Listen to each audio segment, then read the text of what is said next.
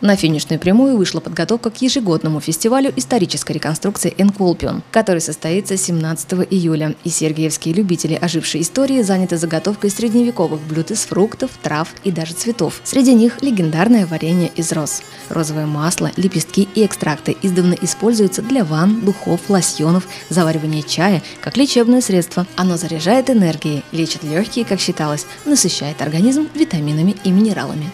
Сергиевские историки-любители погружаются в мир именно средневековой культуры Руси и тесно связанной с ней Европы. Исторические источники того времени гласят, что люди 15 века употребляли в пищу так называемые конфеты, то есть засахаренные фрукты. Хорошо была известна и пастила, употреблялся и радамель из сока розы и растопленного меда.